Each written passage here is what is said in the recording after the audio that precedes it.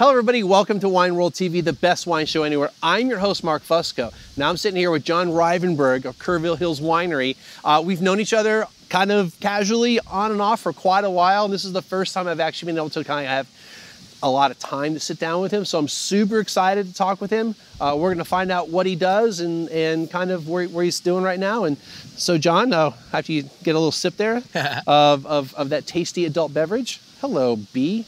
God, I hate bees. Anyway, uh, it's a bee. It's not a wasp. That's that's okay. Um, so, John, why don't you kind of tell us kind of how you got here? So, uh, yeah, I um, through my twenties, I was probably one of the first guys in my group of guy friends that uh, was interested in wine. Um, I had some folks in my family that were interested in wine, so um, I always kind of had a little love of wine. Uh, moving through my twenties, like worked uh, as a professional in the construction industry and um, got an opportunity um, to start a winery uh, in 08. I started working on that winery project in 08. We opened up in 10, 2010, uh, to the public. Um, 2015, I um, left that uh, left that winery and started consulting. Um, and in that time, since 2015, I have um, helped been a brand builder, um, a uh, winemaking consultant, a wine mentor, um, and most recently, um, a um, educator. Uh, we started an incubator in 2020 uh, out of our winery, Kerrville Hills Winery, and it's been it's been fantastic. along that ride, I've been uh, a board member of both uh, TWGA, Texas Wine and Grape Grower Association. I've sat on our um, uh, Texas Department of Agriculture's uh, Wine Advisory Council for several years. Um, and what I've been most happy about, and what we're here today for, is Hill Country Winery uh, Association. This is my second stint as president of the organization. Um, and uh, yeah, here we are back in person um, bringing Texas wine to people. Cool. So, so, you might have heard a little bit of wind noise. We are sitting outside. It's not that windy here. Hopefully, my magic, the mega purple, will will will get rid of that. anyway, that's a lot right there. That's a lot. That's a lot. I've done a lot. Yeah. yeah. Um, you've been around the world a few times. Yes. All right. Cool. Yeah. Um, and I'm hopefully going to TWGA. So I'm, I'm, I'm, talking to people about that. Anyway. Um, so, kind of talk about. Uh, let's focus with, I guess, Kerrville Hills and what you're doing there and uh, how you're serving as an incubator. Yeah, so the the goal behind Kerrville Hills was kind of uh, organically developed. Um, you know, we, uh, we we bought the winery in 2019. The goal was to navigate the winery, rebrand it, and just operate a winery, right? Um, and in 2020, obviously, we all know what happened at the beginning of 2020. Yeah. The world starts to shut down, and but a very interesting, a very interesting thing happened. My my phone didn't stop ringing; it started ringing more, and more people wanted to start wineries. More people wanted to be mentored. More people um, were not necessarily thrilled with other situations they were in and wanted to do something different because they wanted more of that hands-on um, mentorship involved with their development of their wineries. And so we um, started to actively work towards doing what I have wanted to do for the last decade of my life, which was build an incubator. Um, I fell in love with the incubator in Walla Walla, Washington, uh, at a visit 10 years ago or so. And uh, I just thought it's, it was such a cool concept, right? Winemakers working collaboratively with each other to both inspire and educate um, and and uh, bolster each other, right? Um, and so we've been now producing um, about the equivalent of about twenty five thousand cases a year. Okay, uh, the last two vintages um, at uh, at Kerrville Hills. Everybody that's part of the incubator is required to to work. So we're, we're not a custom crush. Like okay, I, I want to be very very clear. Yeah, I couldn't call you and say, hey man, I want I want like a winery call. I want a wine called Mark's Wine, and you do all the work. No. Yeah. Okay, no. that's cool. You because could, we, we could we could maybe help you with some of the components of that, but we yeah. would we would expect you to be uh, intimately involved, right? Oh, yeah, yeah. So we do most everything we do through relationship, right? Um, we have some folks that we do some little one-off projects like that with for, but they generally are people who have their own operations, they have their own things going, and they just need a helping hand for this one project. Right? Okay. Um, but we are we are most definitely not custom crush. So everybody uh, that is entered into the winemaking program, the incubator program, has a representative from their business that works with us directly at the winery during harvest, during bottling, during daily operations. Um, and so we we truly are, um, you know, uh, a think tank for wines. Um, sometimes we call it the Amish barn raising of winemaking because you may have four different winemakers from four different brands all working on each other's wines simultaneously. Okay. And it, and it just the the intellectual uh, spark that is generated is so cool to watch. Okay. It's just it's just it's just great, right? Um, and that's kind of in a nutshell what we do. I mean, it's not right. much more difficult than that. That's that's what it is. So, um, sourcing for for the wines, where, where the grapes are coming from? Is it stuff that you have, or you? So we source from uh, we source from 42 different vineyards. Okay. Um, this last year we did uh, a little over 350 tons, um, 42 vineyards, 39 wine varietals, and 106 different wine lots. Okay. So we source from uh, Hill Country Vineyards that we manage, uh, Hill Country Vineyards that we contract with, um, and High Plains Vineyards that we navigate as well. Okay. Cool. Um, and how many how many people are you working with right now, as far as like the wines or? Um, Yes. we are we're right around uh, ten or eleven. Okay. Yeah, there, there's some that are kind of in in ebb and flow. We've got some people that are we got some people that are kind of leaving the nest, and we got some people that are coming into the nest at the same time. Yeah. So, yeah. So, what is? Um, do you have uh, kind of a general idea about how long someone's going to stay in the nest before they kind of they kind of go and fly for themselves? So, so our commitments are based around three year cycles. okay. Um, you know, you you really kind of need you know to work through our and I hate saying work through our program because it makes it sound like we're like some kind of infomercial, right? Yeah, right. That's not what it is. But in wines, you work in three year cyclical cycles, right? Okay, yeah. Like, nothing just you, you know you don't just do everything in one year. It doesn't work that way. And so I've just kind of found that that three year um, increments um, is kind of the best to learn because you get you at the very least in three years you can learn from beginning to end what the process looks like. Right. Okay. On average, most people are five to six. Okay. Um, and you know, some people, we've got some folks that are looking at they, they may never go. They they may be a partner forever. You know. Yeah. Um, Is that because they're maybe their operations a little too small to have like their own like their own brick and mortar type of thing? um, I, I, honestly, it's actually the other that their brands have become successful enough to where they've realized very quickly that they're going to always need to be part of our kind of Amish barn raising, and it and it makes operational sense for what they're doing to grow their brands to keep that uh, that foundation in place to of help. Right? Okay. um, because we again we're not a custom crush, but we are very much a family or community, and we're kind of we're always there. You never really leave the incubator, right? Right. Uh, it's kind of like it's kind of like the mafia, right? You never really leave the mafia. You know, you're always involved, and and and two, like we- we're we have a we have a family mentality that we are definitely stronger in numbers, right? Our buying power is better. You know, our our networking abilities are better um, and uh, it, it just it just works well, right? So, you know, as we build this community, we have our own little wine community that that we lean on each other, and it's it's nice. All right. Cool. Yeah. So people can stay, just do nothing else to help mentor others. Yeah, yeah, yeah, exactly. Yeah. That's that's very cool. And you got like 39. You said like 39 different varieties that, that came in. Yes. Yeah. Um, is that a, lot of that going into like blends? Is it going into single variety wines? I mean, I'm, Um, it, it's all Everything? the above. It's Yeah, everything, it's yeah. everything. I mean, there are, you know, I'm a big proponent of uh, single varietal wines, okay. um, but I also love blends, right? Yeah. Um, and so I think everybody kind of learns the nuances of of both activities, right? Um, so I wouldn't say I couldn't say honestly that we are focused one way and or the other. We're focused on making the best wine. Okay. And if the best wine is a single varietal, that's what we're going to do. If the best wine is a blend of a couple of varieties, then that's what we're going to do. All right. Um, so besides, you know, the the the mass resignation of, of COVID and people wanting to to be crazy enough to, to get into a winery, uh, what other challenges have you had maybe the past couple years with, with the incubators? I mean, you know, like everybody, and I hate to use a buzzword. I mean, staffing. Staffing's been inter- interesting, um, but where we have the challenge of staffing, we have the benefit of incubator members being part of what we do. Right, So okay. everybody's kind of got a vested interest in everybody doing well. Mm-hmm. So that's that's been a nice little safety net that we've had.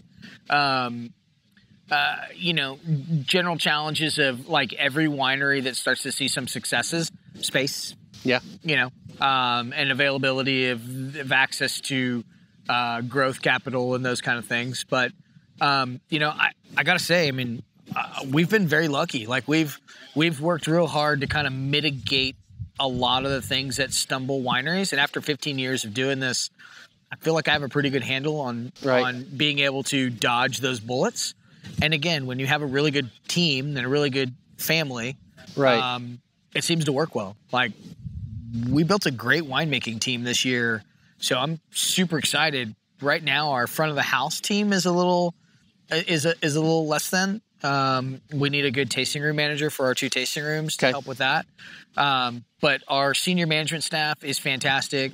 Our winemaking staff is fantastic, and now that we're starting our vineyard uh, co-op and vineyard incubation program, that side is legit too. I think you just sat in Shara's Sure did. Shara, I've mentored Shara, and she's now, you know, she's our, our senior vineyard project manager for what we're doing, and Yeah. so, yeah, we've got we've got a good team. Yeah, so right before uh, I sat down with John, uh, I decided to, if you've been watching my Freestyle Friday videos and all the um, agricultural stuff uh, and about conventional farming, organic, and all that, I wanted to sit in on a little seminar about herbicides and weed control. Um, and while probably a lot of it was over my head in the sense of, you know, they're throwing out names of chemicals that I don't really know, um, the, the concepts um, made sense. Um, and I learned a little bit more about um, effective use and responsible use also of these chemicals because they, you know, learning about compliance and record keeping and all that kind of stuff. Um, it, I mean, I still only know maybe that much more than I did before, but I feel a little more confident that I understand that concept a little bit better. So that was, and, and so kind of to, to speak to why I'm, I'm here, it's not only to interview people like John, it's also to meet other people and also to learn more. While that doesn't necessarily help my wine reviews or necessarily help me gain a new fancy shiny pin from an organization, I think it helps me connect the dots with wine and helps me in my day to day life. Um, also helps me kind of talk on a same level um, with the people who make the wine and grow grow the grapes. Um, so that was a very interesting uh, seminar. I was really happy to be able to do that. Um, and I, I popped in at the very end of one of the other seminars, and they were they were talking about challenges, uh, and they did talk about labor was Yeah. definitely one of them.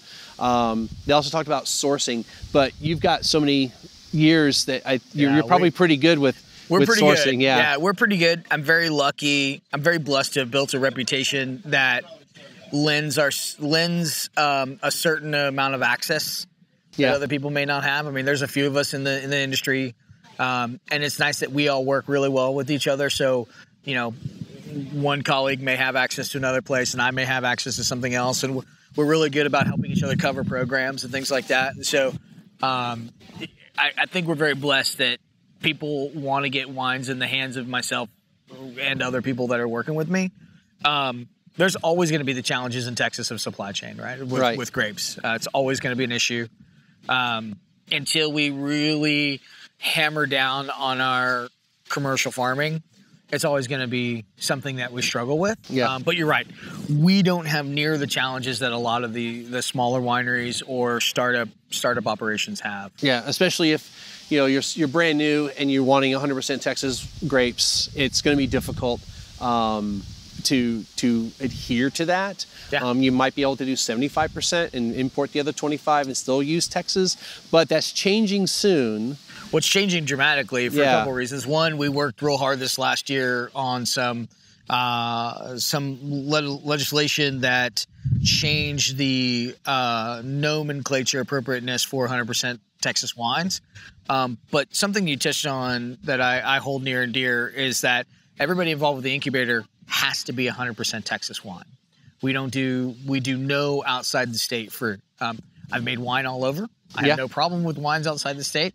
but we're Texas, and I want to teach people how you can navigate 100% Texas wines and do it appropriately, correctly, and without any hiccups, having to cause you to go elsewhere, right? So we're building we're building bridges over vintages, um, we're building bridges over styles, and I'm just I'm teaching people the the the the tips and tricks and techniques that I've learned over the years to help me navigate around those shortages and shortcomings Okay. uh, that can be our farming at times. Yeah, so maybe you have a multi-vintage wine if you're having. Yeah. you, so like, uh, so like last year with with you know the snow, snow, snow whatever, the big snowstorm we had all over, all over Yeah. Texas, and lots of people had no power, including myself for a few days. Um, how did that affect, say, the vines in the two major areas in the high plains and here in the hill country? I mean, I think for the most part, we always expect a certain amount of percentage of loss. Like I've just come to that point in my career where there is, I, I'm going to plan for X, but I know we're going to get Y, Okay. right? Um, and Y may be a deficit. Y may be a, uh, you know an increase, right? It's not always a negative. Um, and so this freeze last year, it, as far as tonnage wise, it, it didn't really slow us down. A couple reasons. One, we watch very closely what's happening in the market. Um, you know, my buddy Chris Brundrett said earlier today, being in the vineyard, being being with your growers, being a- around what's happening on a regular basis, helps you be involved in your anticipation for what shortcomings could come, right? Okay. Or a shortcoming could come in the form of like too much fruit. I mean, it is also equally as daunting sometimes to have to order 20 tons and get 85. You know, Because you have nowhere to put it. because you have nowhere to put it. Yeah. And so we um, we worked real closely as as the snow apocalypse was going on. We had no power, we had no water, but we were like in talks with the people that we could be in talks with as those Yeah. things were happening. But also at the same time, like for us in the hill country, um, the way that storm hit, it it really um, you know the ice encapsulated the vines, and then we had the hard, hard, cold temperatures, which they you know, where they were quasi protected by that that Mm-hmm. frost. Now, did we see some reduction in crops? Yes. Was it apocalyptic? Not by any stretch of the imagination. Okay. Um, so we just knowing that, you know, okay, we know we're going to be down. We're going to call it. We'll tag a number. We're going to be down twenty five percent. Let's start looking. You know, where other people I think rest on their heels, Right. we don't. And and as a group, we work real hard to make sure that we all are doing. I kind of work real hard to teach everybody that I work with that when you see these things, don't wait till April to call somebody. Yeah. Call them in February. Call them now. Yeah. Like you need to be you need to be doing this now. So um, I, I- we didn't have a whole lot of setbacks because Okay. of this year. And that's not going to affect really much this year, or is because I know that sometimes, say like a something happens in the winter, may not affect that vintage, but it could affect a, a following vintage. Yeah, and and we've actually we've already been actively cutting buds in vineyards. We've already we've been actively looking at uh, vineyard stock, and so far, I mean, things have looked things are looking really great. My biggest fear right now, honestly, is we've had we're having we're it's January, Yeah. all right, and it's And the 70 vines aren't going dormant, right? well, they're dormant, but, But- it but they're not. The disease pressure. Um, we've had very mild winter, very little water, um, and so I'm worried about soil temperatures on the ground, how quickly they're going to wake up, you know, Okay. that that kind of thing. So, So if they wake up too soon, you might get hit with a frost yep, You know, and all that kind of stuff. Yeah. I, see, like I go to these seminars to learn these things because I can talk intelligently a little bit. um, this doesn't help me in selling wine in my day job or anywhere else, but yeah. Um, yes, it does. It does. If if, Yes, it if I have customers that that really want to go down the rabbit hole, I'll go down the rabbit hole with them.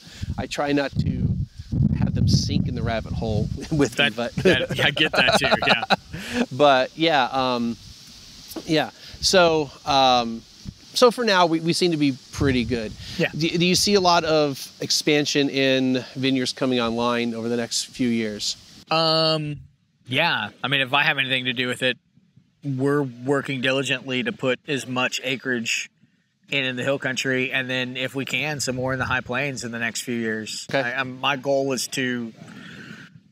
My goal for the next ten years is to keep my foot on the gas to put as much vineyard in operation as I can in the hill country 1st Mm-hmm. and then it, in and where it makes sense appropriately in the high plains as well. Okay. Now, are there varieties you're focusing on for the hill country? Um, I mean, Tannat. Tannat, yes. I mean, it's not. I can't. You know, it'll always be. There'll always be Tannat. Um, but you know, I think our signature grape for Texas is diversity, right? Okay. A- a- and diversity, as you know, is not an actual grape. I think the fact that we can grow so many different varietals is kind of what our identity is. Um, and so I love Tannat. I love Picpoul Blanc. We've been farming grapes um, uh, with Ab Astris. The Claire Blanc is fantastic. Okay. It's been absolutely phenomenal to work with, phenomenal to grow. Um, uh, I'm I'm excited about I'm excited about Sagrantino. Uh, I'd like to put some Teroldego in the hill country. Um, we've been making fantastic Teroldego out of the high plains for a few vintages now. Um, I I've been working with some hot weather clones from like southern Italy. Okay. Uh, we're putting a bunch of those in in now production blocks um, this coming year of Caber- Cabernet Sauvignon Okay. from southern Italy. So I- it goes against counterintuitive what people think of cab, right? It's, Right, yeah. There's no clone seven. There's no clone nine. I mean, it's it's hot weather stuff. that clone 337? I, I've been growing 337 for a long time. Okay. So, and, and go back to history. That's actually where I came up with the 1337 wine. Well, I was going to ask you that, Yes. but I wasn't sure. Okay, so yeah, when you said that, I was like, he's talking about clone three three seven. Yeah. yeah. All right. So, brief history lesson to everybody. Uh, if you weren't watching back in 2009, I came up with the idea of calling this thing 1337 wine. It actually was the idea was a website and make a wine out of it. That was because I saw the Noble Vines, which I've reviewed three times on the show. Uh, Noble Vines 337. I thought someone had a label that said 1337 because I looked at the label little angle. So I thought somebody made a wine for geeks that like wine, not for wine geeks. There was the explanation. That's why I had Ah. to change the name because 1337 means elite. That's short for elite and gamer and hacker speak. So now you know why I said enough of this banging my head against the, the door the wall of explaining why my show was named what it was and just call it Wine World TV. And it's so much easier.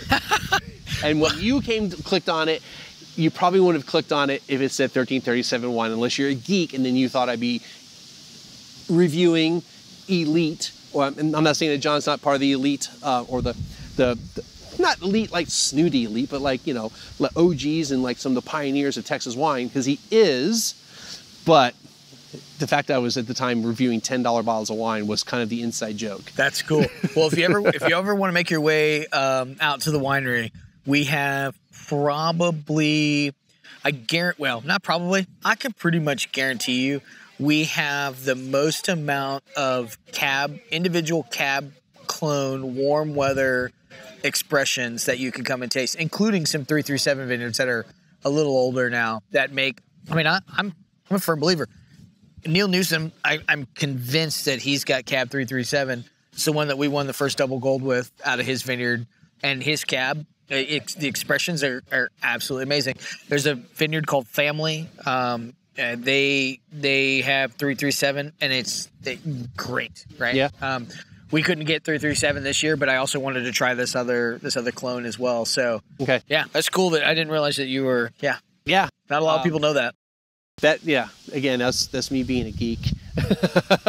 um, so besides Hill Country and Texas High Plains, are there any areas in Texas that you think have some really good future and what what they can maybe grow? Oh shoot! There's, I mean, eh, we have so many untapped areas that can grow grapes. The whole area from like Mason to San Angelo. Okay. I mean, you've got millions of square miles that haven't even been tapped because they're just so far out in the middle of nowhere.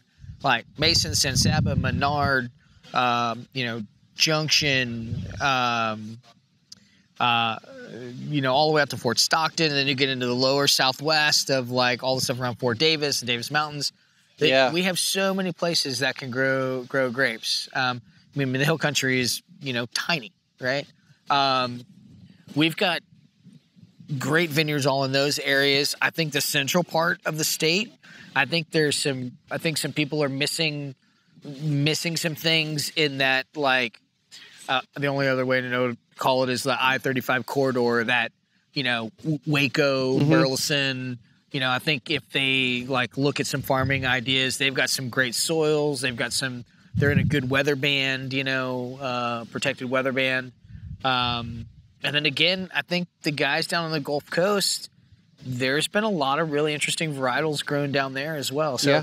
we're the, the sky's wide open for what you can do in Texas. I mean, Okay. we've we've only scratched the surface in the last 35 years of where you can actually grow grapes here. and, and that's talking with a lot of people. I, I get I get that. Um, you know, I know some people that got some stuff out in the, in the Davis Mountains. You know, some a little bit cooler climate, or or because of higher elevation, they, they can Yeah. they can do some cooler climate stuff. Um, so yeah, I mean, Well, it's one of our partners. I mean, one of our partners is uh, uh, Pamela and Steve Yoder and their son Zach. Um, they are at 4,500 feet in elevation. They're in Dalhart, Texas, which is like the very tip corner of the Panhandle. Um, they're closer to New Mexico and uh, Colorado and Oklahoma than they are to Austin, Texas, to our capital, right? yeah, and um, they're growing Pinot Meunier, Gewürztraminer, Gruner Veltliner, uh, Cabernet Roussanne, um, uh, Pinot Noir, and they're it's cold, it's high in elevation, it's dry. Um, their their climate is so perfect and so could not be so more polar opposite of what we have in the hill country. Like I'm just tickled to death to be working with those vines, right? Yeah. because it's completely different expressions than what we have down here. so being out there, um, or just the high plains in general, uh, um, you're having less disease pressure in general than you would here. In general, here? yeah, yeah, yeah, In general, I would say definitely. I mean, this last year there was a lot of rain in the high plains, and so That's they what I saw, heard in that seminar, They saw, yeah. they saw d- disease pressures that they hadn't seen in the past. Um, but as a rule, very little pressure. There was um, it wasn't the seminar I just did, but the seminar before, Chris, Chris and Seth and Michael? Michael, yeah, Michael. Yep. Um, who I've got to sit down with Michael. Mike's a Um, good dude. Anyway, they were talking about there's something. I guess there's some type. Is it a, is it a is it a, a is it a pest or is it a disease that's hitting the high plains that they don't normally see? I forgot the name of it. Um, I mean, there's lots of things that have been. No, but there was something that was like unusual. I don't know. I, I should have. I meant to ask them about it, but I didn't, I Probably, didn't to they're, they're probably talking about dicamba, which is That's it. What What is is dicamba? I don't know what that is. dicamba is an herbicide that's generally sprayed by by cotton farmers, peanut farmers. Okay, so And they're worried about it's- drift. It's drift, yeah. Got it. Yeah. Which then that was made sense because in the seminar I would talk I went in, they talked about drift and having your ducks in a row with your paperwork so Yep. you can show yes or no what the wind was, how the wind was and all that. Like Yeah. okay, I can but And I remember something along those lines a couple years ago, sitting in a very similar uh, seminar and a lot of the high plains Yep.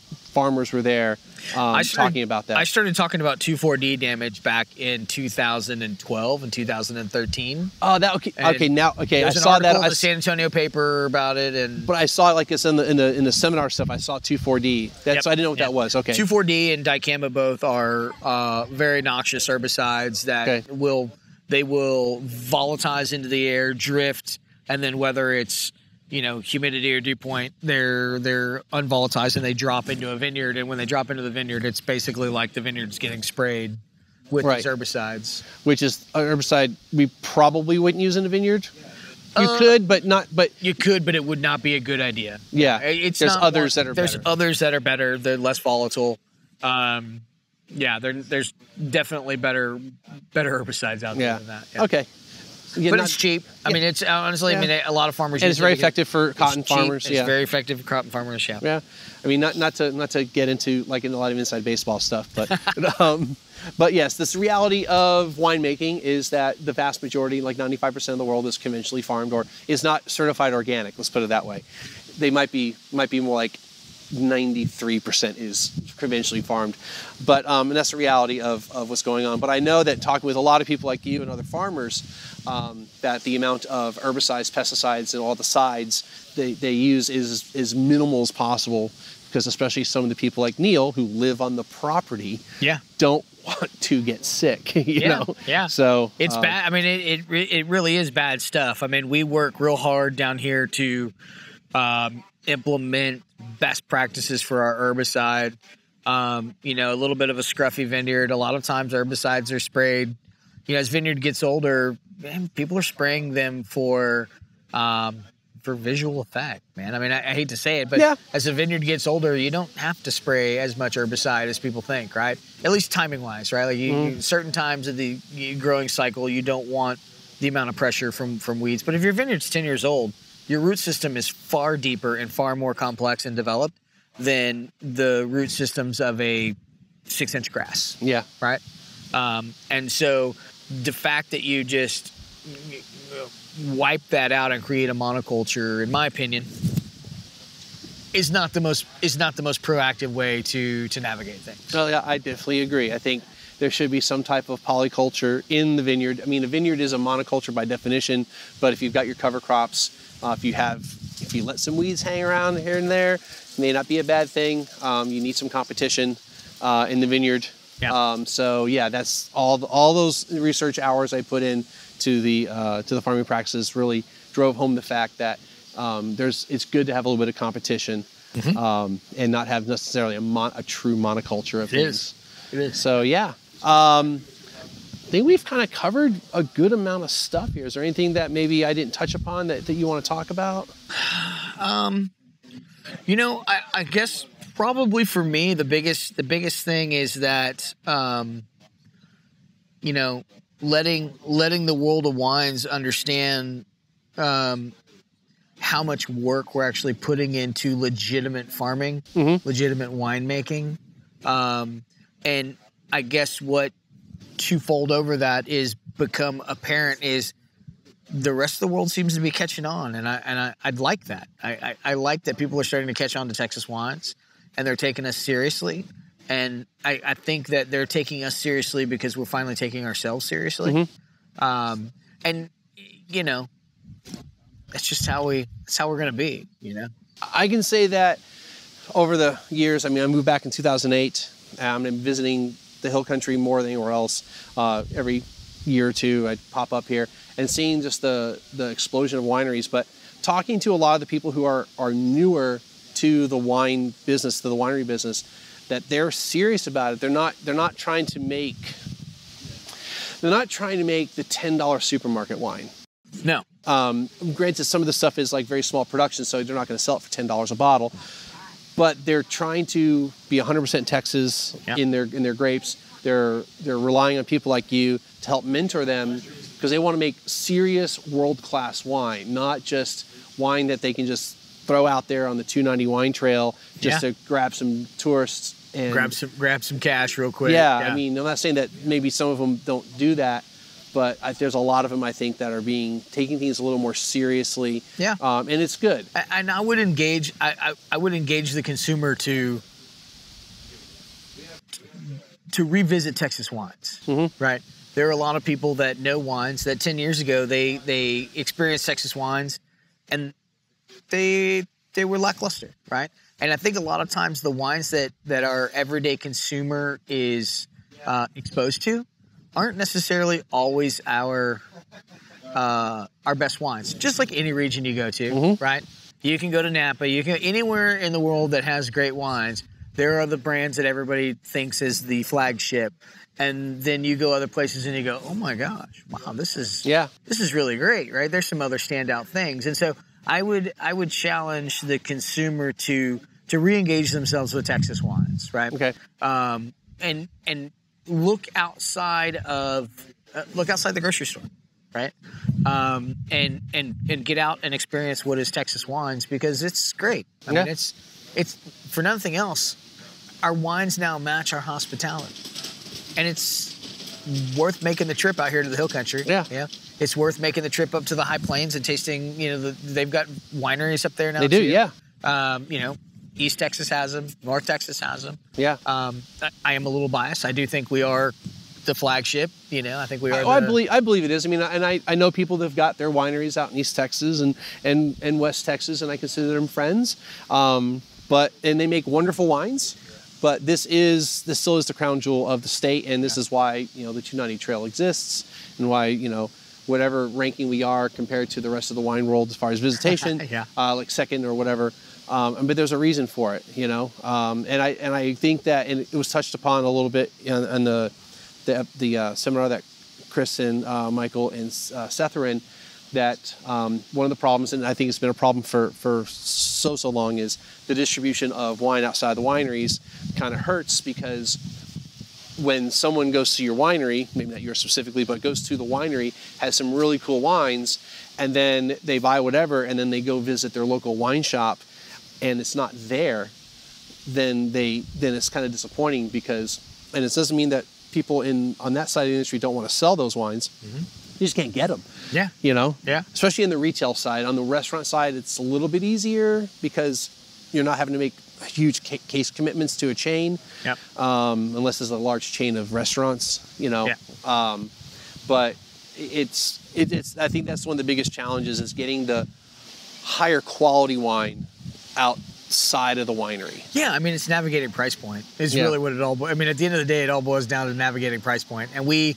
It still costs more money to make wines here, and if you're going to Mm-hmm. make a really nice wine, it it's not going to be eight bucks to sell to a to a a retailer.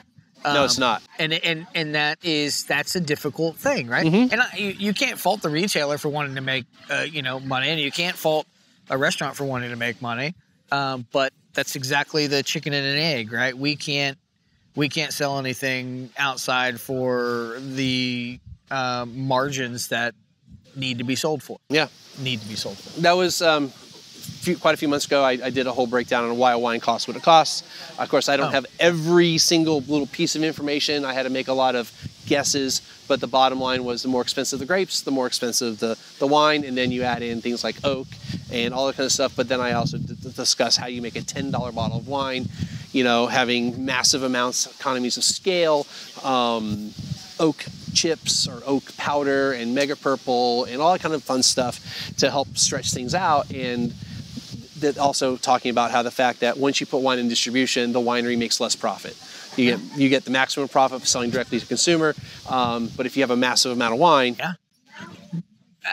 And, and, popularity is a double-edged sword. Yeah. too. I mean, because then you start to make decisions based around your distribution team, your marketing team, your sales team, your winemaking team. In my experience, with working with and around wineries that are larger and in a whole lot of uh, wholesale distribution, is the the winemaking team and the vineyard team end up being the last ones uh, you know, brought in on the conversation. and it, that's it should be the other way around, Yeah. right? And you know, well, they're the ones supplying it they're the ones supplying it. Yeah. But we'll get there. I mean, it, like, Yeah. look, uh, California can sell fantastic wines Mm-hmm. and distribution, right? So there's ways of doing it. It's just creating that economy of scale that works. I mean, Yeah. we've got, I've got friends that are building brands that will be, you know, in the 100,000, 200,000 case range in the next 10 years.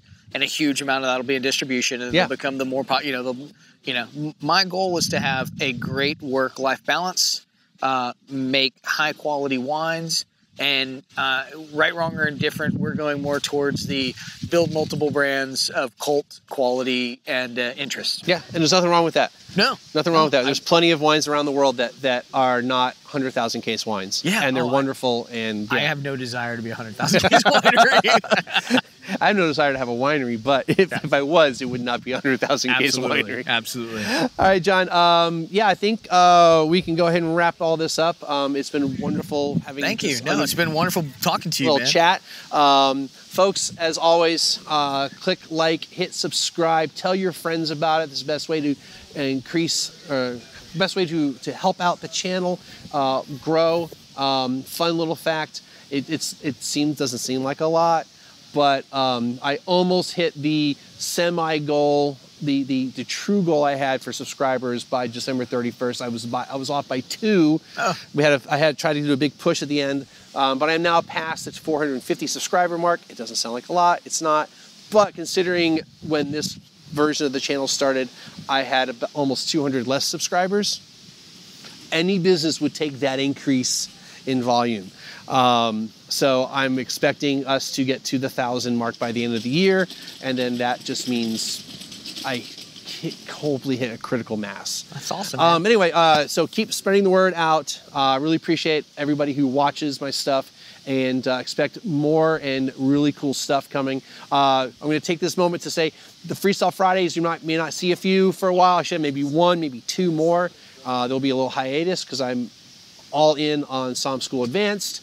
Um, the Monday episodes I got all the way through, through the middle of March, so that's good. But the channel itself may take a little of a hiatus for about two months while I uh, work on the other project and get all that going up and running because that's uh, what's my future on the certification side. All right, uh, that's going to do it. Um, again, click like, subscribe, tell your friends, and uh, we'll see what we can get us. Thanks. Awesome. Thanks a lot, man. Thanks, man. Appreciate, appreciate it. it. All right.